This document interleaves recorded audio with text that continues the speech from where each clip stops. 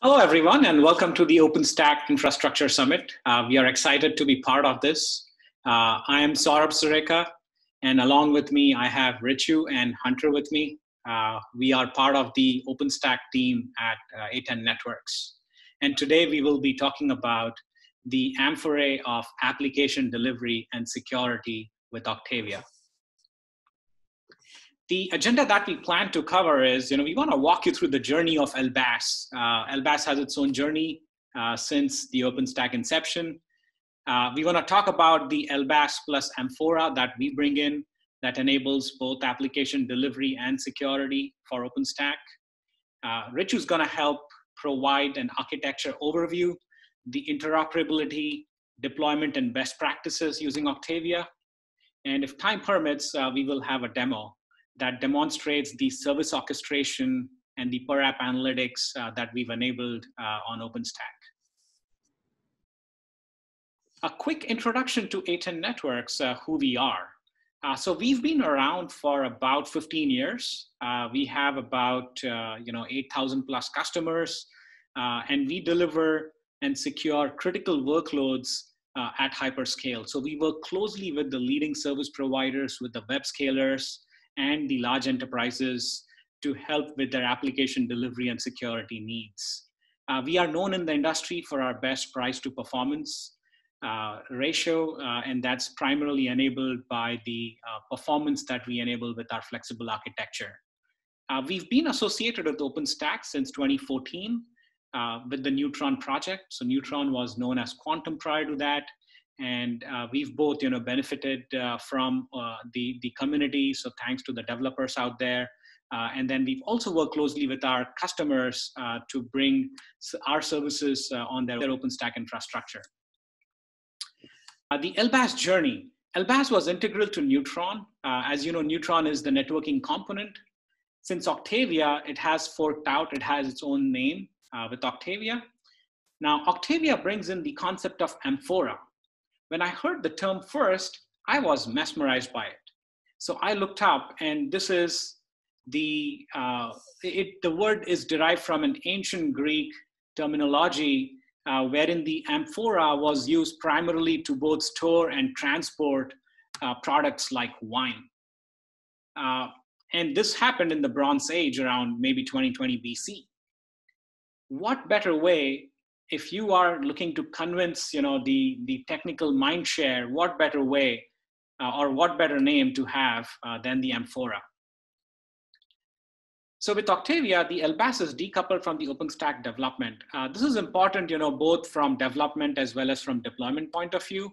And the amphora uh, can run as a virtual machine as bare metal or as a container uh, so this enables you know the different type of application workloads, and depending on your use case, you can run the LBaaS uh, either as a VM bare metal or as container. Uh, and it truly enables you know the at scale load balancing with multi-tenancy, uh, which is required in in today's uh, application workload. So we bring in, you know, with the A10 solution, we bring in a LBaaS plus. Uh, so it's it's basically our shiny amphora for your OpenStack infrastructure. Uh, so a typical uh, mid to large deployment for OpenStack will have few hundreds of applications. Uh, and we enable three key things uh, for your application workloads. The first and foremost is the availability. We make sure that your applications are always available. Uh, the second is security, both for the applications as well as the underlying infrastructure. And third, the important point is around observability. Uh, so the ability to have real-time view into your application traffic at a per app, per user level. So to expand on this, you know, when I say availability, uh, it's really enabling five nines of availability and five layers of availability for your OpenStack infrastructure. Uh, so the, the availability can be in terms of making sure your application is fault tolerant, uh, making sure the application infrastructure is fault tolerant, uh, the load balancer, the load balancer infrastructure, the namespace that is associated with the load balancer. Uh, if you have deployed your applications across multiple regions or multiple clouds, uh, we provide uh, fault tolerance across all of that. And this enables, you know, the BCDR type of use cases. Uh, so if you want to have even intelligent traffic management for your applications, wherein you know the infrastructure that is closest to the user uh, serves that particular user, so you can enable it with our uh, service. Uh, especially, we also enable the blue-green type of deployment. Uh, so this is important, you know, when your dev team wants to push out some changes for a select type of users, and then you want to ensure you have a smooth adoption for your application. Uh, and thirdly, the, the custom application health checks that can be enabled uh, right at the HTTP layer or at TCP UDP, the network layer, uh, or even at the application protocol la layer. Talking about security, we enable defense in depth posture uh, for the application workloads. Uh, so starting from the secure connectivity end to end between the user uh, to the application enabled by SSL TLS, IPsec. So this is primarily for either a site to site or from a client to site uh, type of connectivity. Uh, then we enable application access management, uh, which is uh, providing you with single sign-on, multi-factor authentication, uh, enabled by our integration with the IDPs. Uh, the third thing we enable is the DDoS protection, both at the network layer as well as at the application layer. And, and then finally, you know, protection from the bot or the malicious traffic. We, we also have the web application firewall that protects your application from the vulnerabilities of, you know, like common uh, cross, uh, your common scripting attacks and so on. Talking about observability, we enable real-time observability at a per app, per flow level. Uh, this is done without having any kind of uh, agent in between. Uh, we've built the Smartin uh, at the load balancer and streaming capability uh, for uh, you know to, to, to our controller. Uh, so this enables uh, quite a lot of new use cases around predictive uh, analytics, providing with actionable uh, insights, uh, and importantly around alerts and notifications that can be configured easily. So all of this can be is API driven. So if you want to integrate this into with your SIEM vendor or your components of the infrastructure, you can easily extend it yourself. So this solution uh, is enabled, uh, you know, our LBaaS can run either as a high performant hardware, uh, as a VM, as bare metal, or as a container. Uh, we bring in high performance with our integrations, you know, around SRIOV, DPDK, so you can run our software as a single instance, 100 uh, gig. Uh, and then you get the same feature functionality across multiple clouds we, we realized that there is a need to automate the workloads as well as automate the deployment and configuration uh, of the load balancer. So we have a strong support uh, of automation toolchain we enable. Uh, the other thing, you know, we hear from our customers uh, is they are looking for a self-service portal uh, for their workloads. And they have two primary user personas, you know, this is around the NetOps and the DevOps. Uh, so the NetOps team is primarily responsible for the lifecycle management of the load balancer, and the DevOps are responsible for their view uh, into the application traffic. You know, so things like configuring WIP or just looking at the application health check. Uh, so we we enable both those use cases uh, with Harmony Controller. Uh, so that so for if you have hundreds of applications, you can pretty if you are a DevOps, you can zoom in to your specific application and get uh, real-time visibility about 200 plus parameters uh, that, that, that can be uh, you know, used for uh, advanced analytics as well as for alerts and notifications. So simple use cases, you know, if you are running into an application error, uh, you can easily configure a webhook as well as, you know, post a message into your Slack channel. so that ways it will alert you the moment the incident happens. Uh, and this is enabled uh, in OpenStack as well as you know across the hybrid cloud. So with that, I'm going to pass it over to Richu. Richu, over to you. Thank you, Saurabh. so what we're going to start off with is I have a few slides here to introduce what Octavia is as part of the OpenStack releases. Um, and then we'll walk you through the A10 Octavia provider driver. So here, um, Octavia is an operator scale uh, load balancer as a service, which has been made available on the OpenStack release since Liberty. Um, on the back end, Octavia uses the Amphora driver for scaling and on-demand load balancing creation. So a multiple of these Amphora are called Amphorae, and each of them can be deployed as either a virtual machine, a container, or a bare metal. What, it, what this brings to the table is it makes um, this Amphora driver truly supportive of different form factors for load balancing. And horizontal scaling is what differentiates Octavia from uh, its predecessor, the Neutron LBaaS. Basically, it adds more machines to the pool of resources that it, that's made available, making it uh, extremely uh, supportive of the multi-tenancy for customer SLAs and security associations. So interaction with the OpenStack components, Octavia interacts with Nova, Neutron, Barbican, and so on and so forth uh, through the provider driver interface, which is basically a superset of the LBaaS v2 APIs, uh, bringing the flexibility of flavors for uh, different sized VMs and also creating, uh, making it easy to create these custom provider drivers for integrating into Octavia um, basically makes it uh, supportive of uh, modern cloud deployments. Next slide, please. Here I'm kind of summarizing the Octavia architecture into three uh, key components. Um, Amphora, right? The individual load balancer is called an Amphora. What's natively available as part of Octavia is an Ubuntu VM which spins up with HA proxy. Then you have the controller, which is essentially uh, the brain of Octavia, which has five daemon services running. Um, they, they are the controller worker driver, uh, the health manager, housekeeping manager, and so on and so forth. Um, each Amphora comes up with a network interface on the load balancing network. So what, what this essentially provides for you is a direct connection into uh, the tenant network so that you can access the tenant servers. Next slide, please.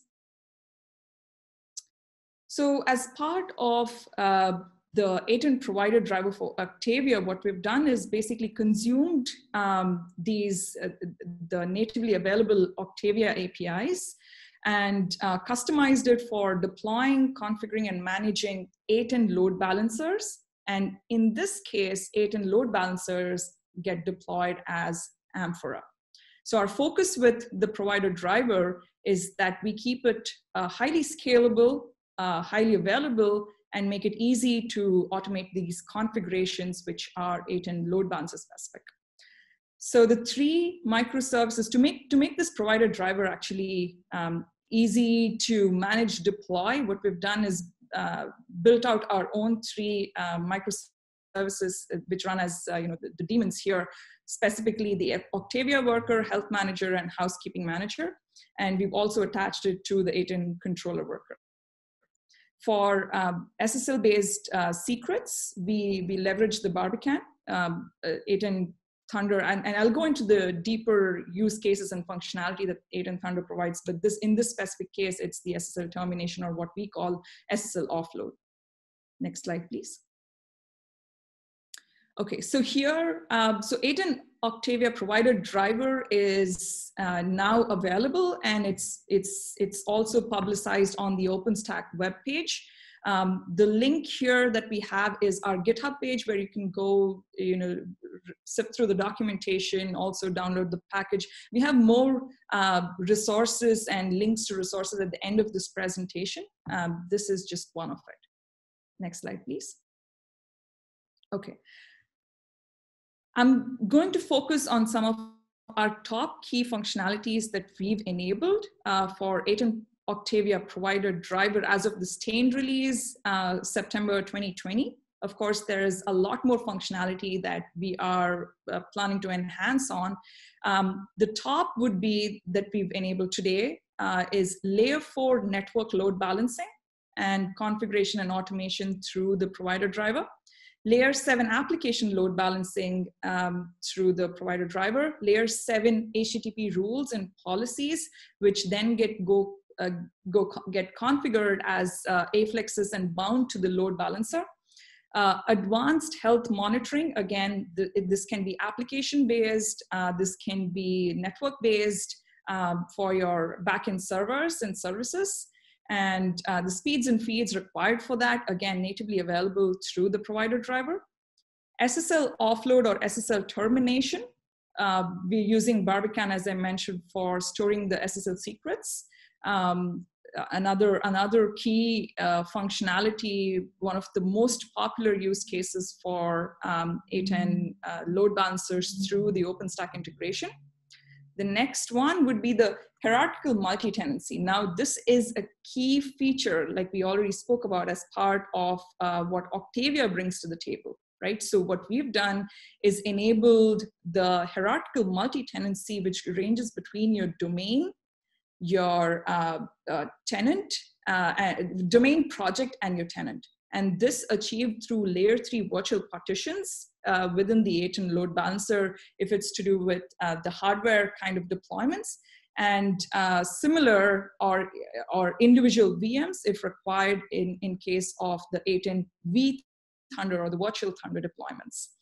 Um, so high availability cluster, of course, A10 uh, active standby mode deployment. And we also provide something called the VCS, which is the A10 load balancer clustering to aggregate uh, resources and provide you uh, more uh, throughput and more performance aggregation. Um, and uh, the HA, the high availability for redundancy and failover. Uh, with VLAN support, we, we basically uh, provide you this single aggregator, which can be split into multiple partitions. And then you could use differentiation of your customer engagement through the, through the VLANs. Um, and all of this A10 Octavia provider driver, uh, which can integrate into A10, the bare metal or the hardware solution uh, the virtual solution called the vThunder or even our container solution. We also have the A10 conf uh, Octavia config file, which gets into the more nitty-gritties of uh, A10 specific configurations. Next slide, please.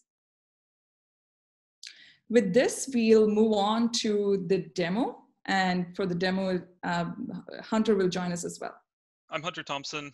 I'm the engineering lead for A10's OpenStack team. Uh, I'm going to be giving a, a, demo today covering how to um, configure and orchestrate vThunder devices, among other things, uh, in, in the OpenStack environment. But before we get there, I'm going to show just the very basics of Octavia. So first up, we have the load balancer, um, which is just the IP address. You know, it's, it's, it's essentially your VIP. Uh, we have the listener, which is actually sitting there. It's listening for the requests that are coming through. In this case, we're going to have an HTTP listener. It's going to sit there on port 80. Uh, we have two backend uh, member servers. Those are sitting inside the sales pool, uh, which will have the round robin load balancing algorithm um, directing traffic between them. Also today, we're going to be showing the A10 Harmony controller just to show the analytics and the traffic that are flowing through to the, those backend servers.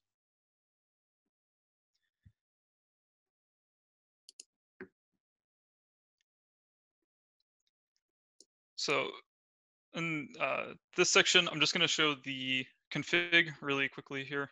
Um, just that we have the controller worker, our health manager, um, and the housekeeper, which are Octavia uh, microservices running there in the background.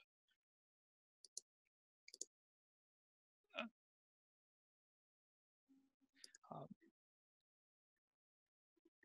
so here I'm creating the OpenStack uh, load balancer itself. In this case, we're going to be creating the VIP on this uh, provider um, provider network, eh, which is uh, just directed at VLAN 111.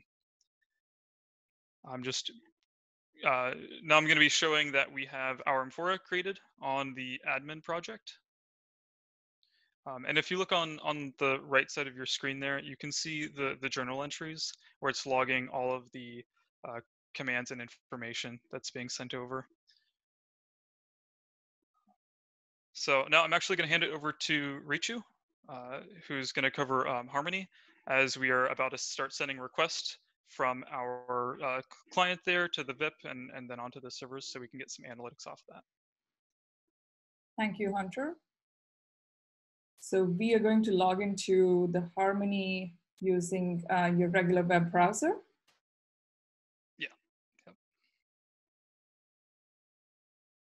And A10 Harmony is uh, can run as a VM within your uh, OpenStack uh, host network. And here, that's what that's what we've done.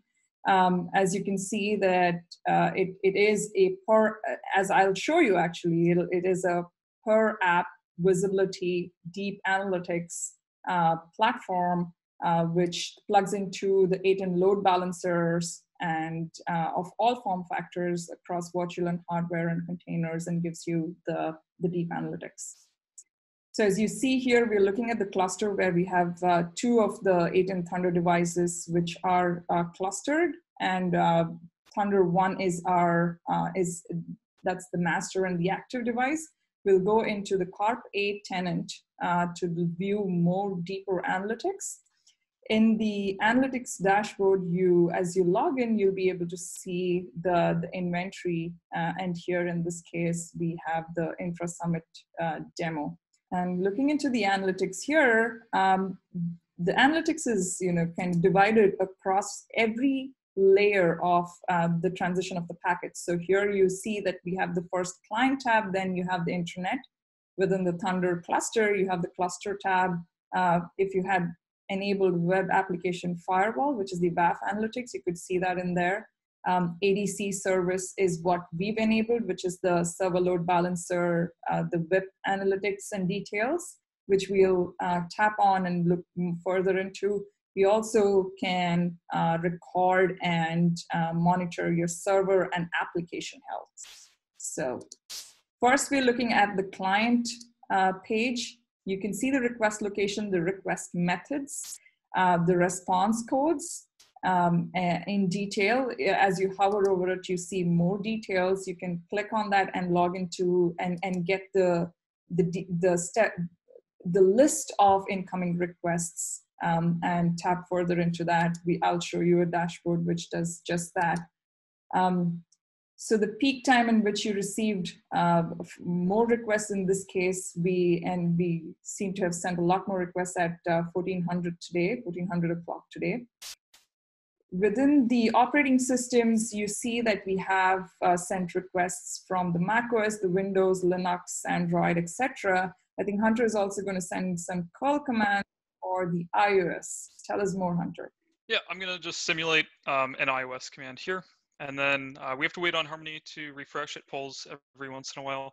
So while that's happening, um, we're actually going to go back to the L7 uh, policy, the L7 rule.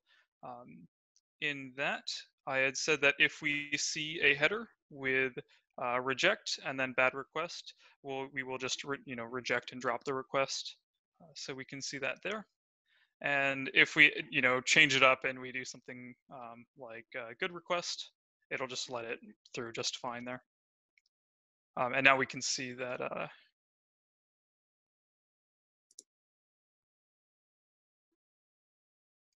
and after refreshing, we can see that iOS has been added. Thank you, Hunter. That was that was really useful. Now we're looking at the browsers. We've been sending some curl commands uh, from uh, using Firefox and just curl, which shows up as unknown, and Chrome, of course. Um, and here you can see the throughput.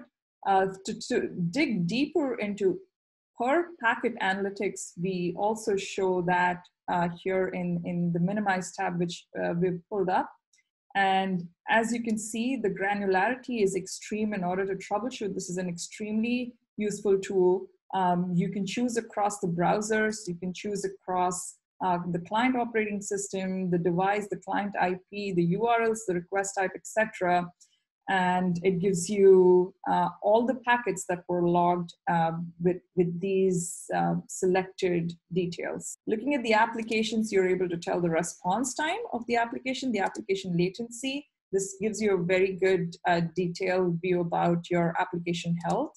Uh, something that helps the, uh, the app developers to look more deeper into. Top domains and URLs that were targeted, application servers, there's the server health and the server response time uh, itself. That brings me to the end of uh, this demo.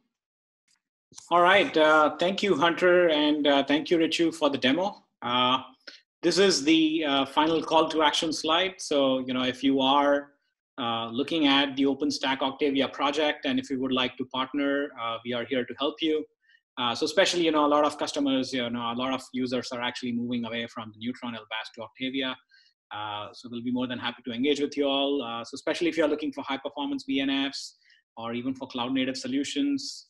And and you know a lot of people are you know looking for that consistent application delivery and security uh, across the hi hybrid cloud infrastructure, right? So we'll be more than happy to collaborate on that.